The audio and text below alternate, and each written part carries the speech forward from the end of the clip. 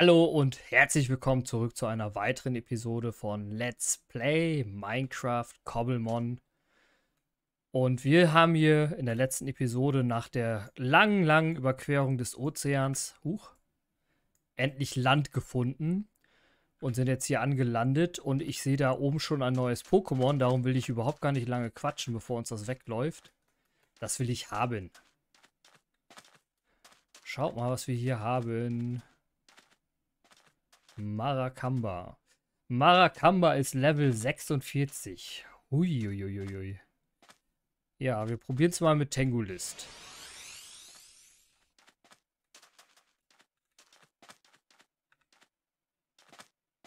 Während wir hier weggeschoben werden. So, wir fangen mal an mit einem Windschnitt. Und dann müssen wir einen Megasauger nehmen. Oh, wir werden es nicht überleben. Och, mein Gott, ey, dieses... Es nervt mich wirklich. Und jede Aufnahme muss ich immer wieder einmal überlegen, ob ich das Let's Play vielleicht mal abbreche, weil es geht mir auf den Sack. Jedes Pokémon stirbt nach einer Attacke einfach nur. Lästig. Ja, so wie das da jetzt auch.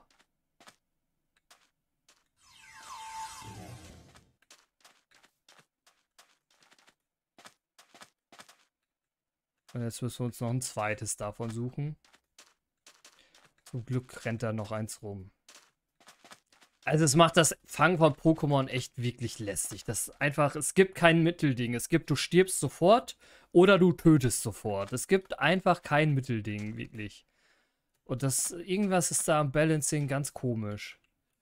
So, jetzt müssen wir hier Rihonion nehmen. Auch wenn das auch dagegen versagen wird.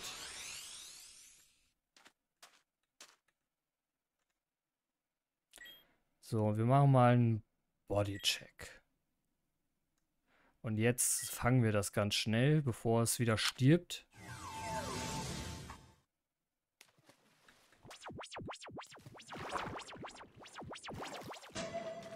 Okay, das hat geklappt. Gott sei Dank. Und ich schätze, wir müssen uns hier irgendwo schon mal wieder ein... Oh, sind ganz viele Hasis. Wir müssen uns hier irgendwo eine kleine temporäre Base aufbauen, denn wir müssen offensichtlich unsere Pokémon heilen. Aber ich sehe gerade, hier haben wir einen Mangroven. Wald, Sumpf, wie auch immer man das nennt.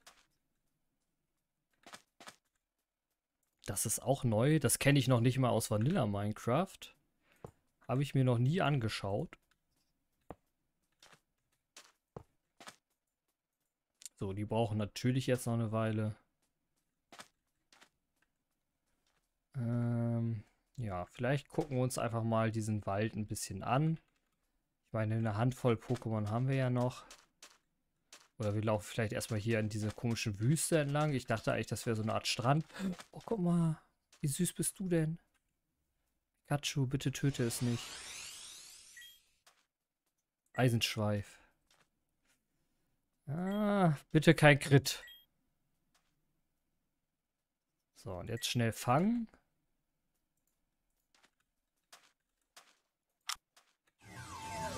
Sandan ist so knuffig. Ich liebe Sandan. Yay.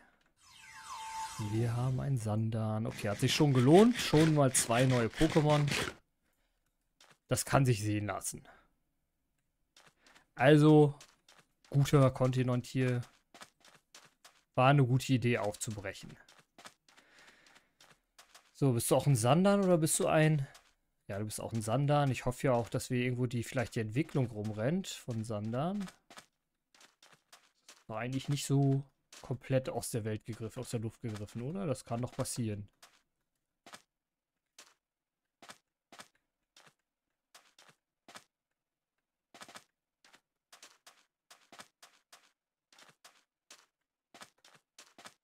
Ich renne das hier einfach mal eine Weile ab.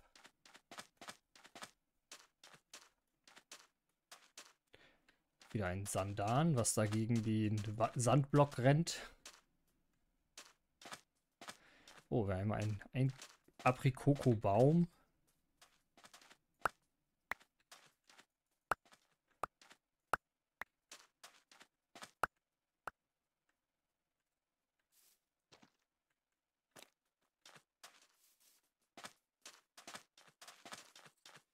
Ich hätte in der Folgenpause nach diesem Weiler-Problem schauen wollen. Habe ich nicht gemacht, fällt mir gerade auf.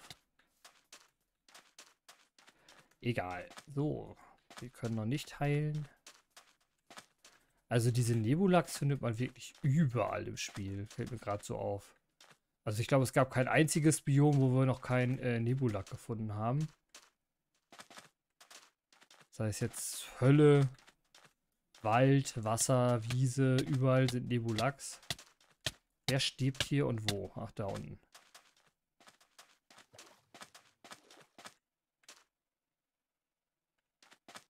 Ich renne nochmal zurück. Wie gesagt, ich hoffe einfach mal, dass wir nicht nur Sandan finden, sondern auch Sandans Entwicklung.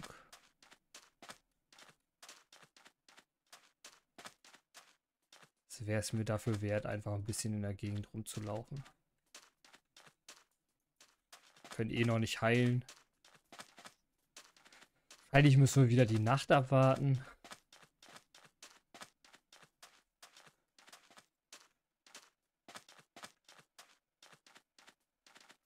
Das Anton, Anton haben wir schon.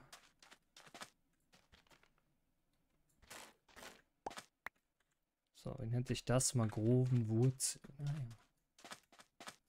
Wie gesagt, diese Mangrovenwälder habe ich tatsächlich auch noch nie wirklich gesehen. Aha! Entschuldigung, dass ich unterbreche, aber Sandermeer.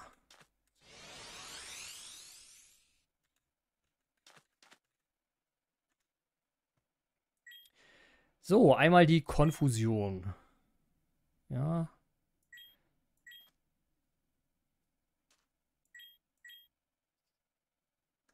So, schön. Das läuft doch mal reibungslos.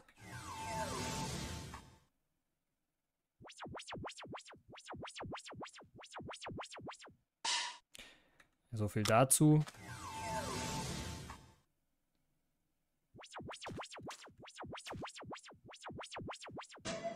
Na gut. Ja, Sand am Meer gibt es hier tatsächlich nicht wie Sand am Meer. Aber immerhin eins haben wir gefunden. Das ist doch schon mal super. Aber da wäre jetzt tatsächlich noch eins gewesen. Aber wir können ja auch mal ein bisschen trainieren. Die Pokémon, die wir noch haben. Glurak, machen wir schnell einen Flammenwurf. Wunderbar.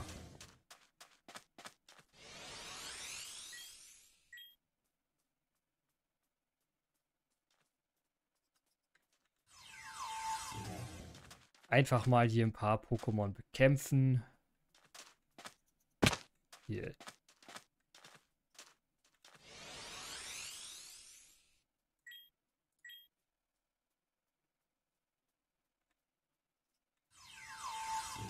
Glurak auch mal wieder ein Level up.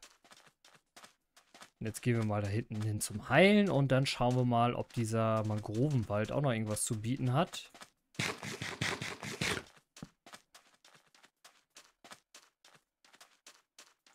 Bitte lass mich heilen. Ja.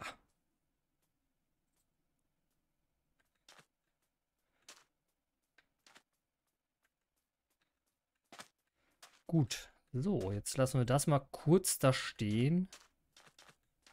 Einfach, weil man es da besser wiederfindet als in diesem düsteren Wald.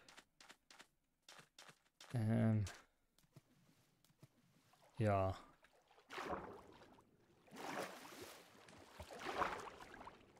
Gibt es denn in diesen Mangrovenwäldern irgendwas Cooles? Außer natürlich Mangrovenholz. Mangrovenholz ist schon cool.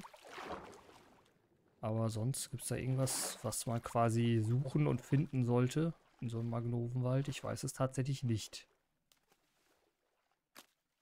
Also was diese Version von Minecraft angeht, bin ich noch völlig uninformiert. Kröte. Stimmt, Kröten gibt es. Gibt es Kröten-Pokémon, die man hier finden könnte?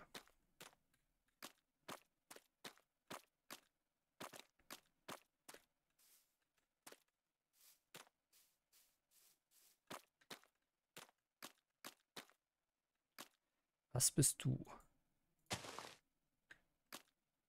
Ah, ich hab's kaputt gemacht.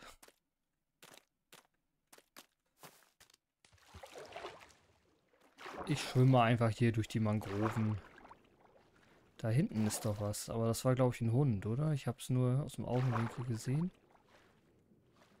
Ach so, ein Entoron. Das sah irgendwie nicht aus wie ein Entoron von hinten. Schlafen hier kurz im Mangrovenwald. Einmal, damit wir uns auf jeden Fall auch wieder hier im Hellen bewegen können. Möglichst im Hellen. Okay, ähm...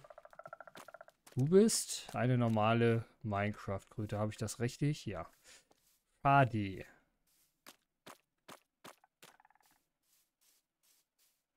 Ich will doch nur Pokémon.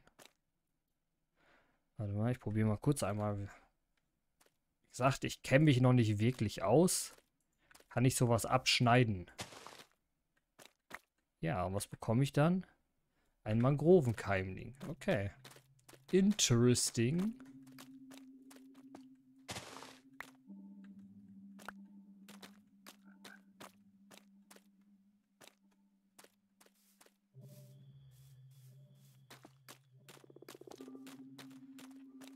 Aber davon mal abgesehen, hat dieser Wald Pokémon-technisch jetzt nicht so viel zu bieten, ne? Also eigentlich gar nichts.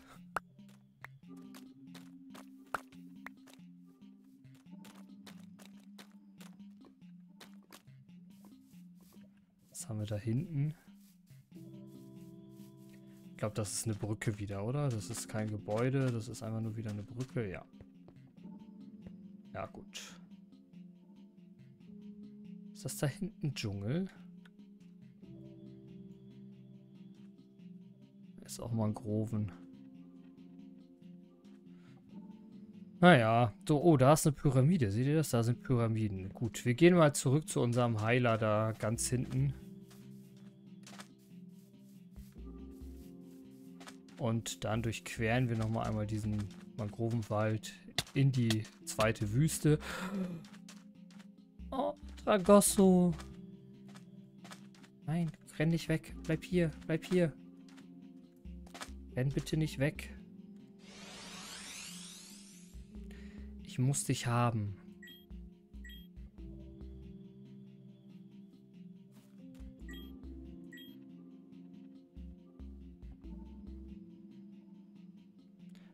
Okay.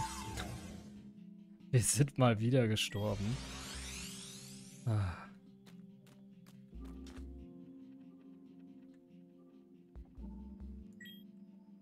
Ja, komm, kleinen Megasauger. Oh nein. Wie gesagt, sofort sterben oder sofort töten. Nichts dazwischen. Und jetzt rennen wir hier rum, weil ich natürlich jetzt ein zweites davon finden will.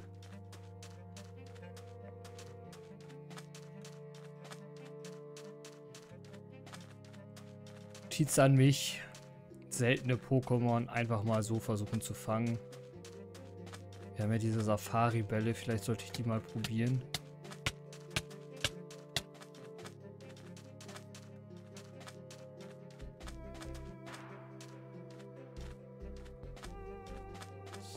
Hier reingehen. Vielleicht gibt es ja hier auch sowas wie Entwicklungssteine. Man weiß ja nicht.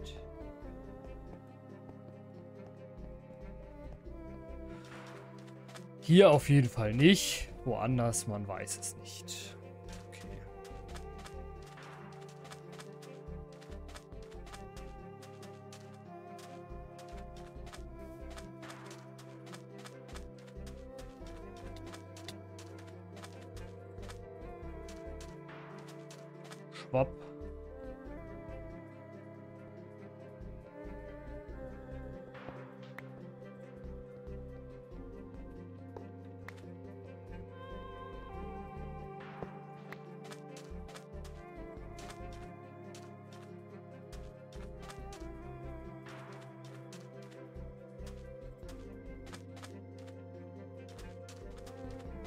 Gut, ja, also Plan jetzt. Wir gehen hier in die Wüste. Und wehe, da gibt es kein Dragosso. Dann werde ich aber Fox Devil's White werde ich dann.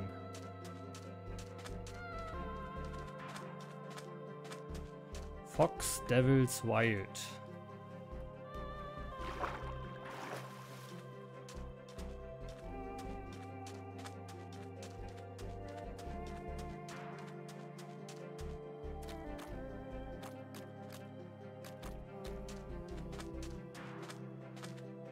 Hier am, am Rand entlang.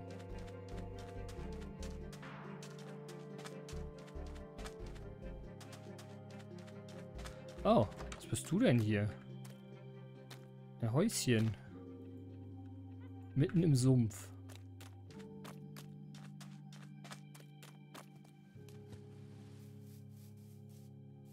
hier ist auch irgendwas. Das ist doch bestimmt so eine Hexenhütte, oder?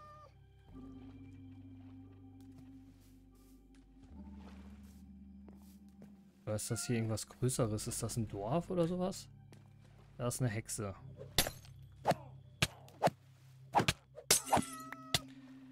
Ach man, immer diese Kackhexen.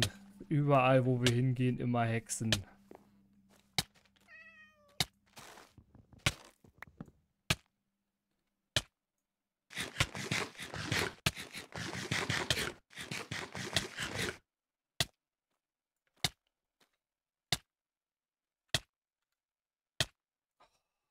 Giftung nervt echt hart.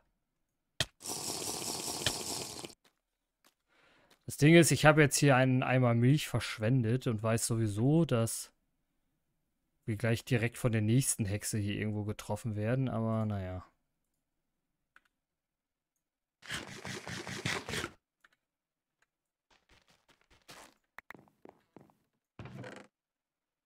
Trank der Schnelligkeit. Wir nehmen mal so ein paar Spinnenaugen mit. Äh, nicht, dass wir die brauchen, aber Wer weiß. Ist hier auch noch eine Hexe drin? Na, gerade nicht. Oh, Schleimbälle. Schleimbälle nehmen wir auch mit. Karotte aber nicht. Oh, wie viele Tränke. Also, ja. Ist eigentlich Quatsch, das mitzunehmen. Aber wir nehmen auch mal so ein Ding mit. Weil wenn wir schon irgendwie Brausachen mitnehmen, dann sollten wir auch das Gerät zum Brauen mitnehmen, weil sonst ist das ja auch wieder Murks. Und unser Rucksack ist schon wieder fast voll. Das Übliche. So, jetzt aber weiter hier.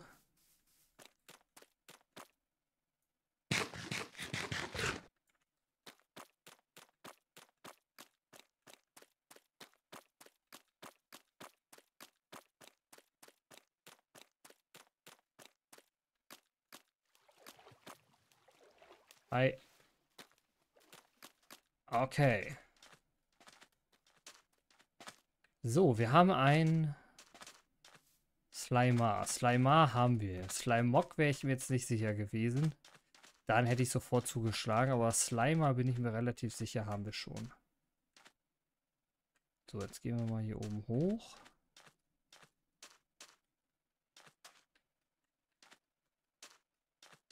Das ist einfach nur so ein toter Baum, aber das da, schaut euch das mal an.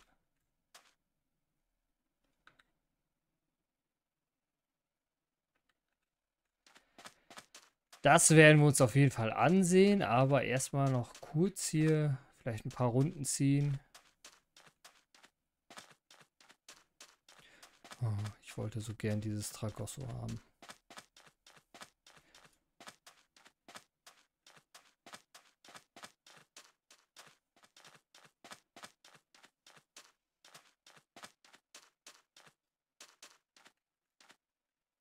Hier ist noch eine Pyramide.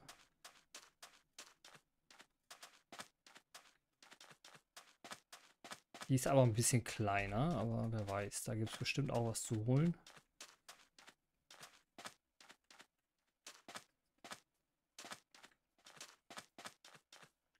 Kurz einmal umrunden, ob da irgendwo ein Eingang ist, direkt in die Pyramide rein. Ansonsten graben wir uns da einfach rein, aber bisher finde ich hier tatsächlich keinen Eingang. Hier bei sowas muss man immer aufpassen, denn baut man einen Block ab, fallen alle anderen mit. Gut, das Ding hat so auf die Schnelle keinen Eingang. Das probieren wir dann mal aus gleich, aber das probieren wir erst in der nächsten Folge aus. Also jetzt ist erstmal hier wieder Feierabend. Äh, vielen Dank fürs Zuschauen. Wenn euch der Part soweit gefallen hat, lasst gerne eine Bewertung da und wir sehen uns in der nächsten Episode wieder wenn wir uns diese Pyramide vornehmen. Bis dahin noch einen schönen Tag und bis bald.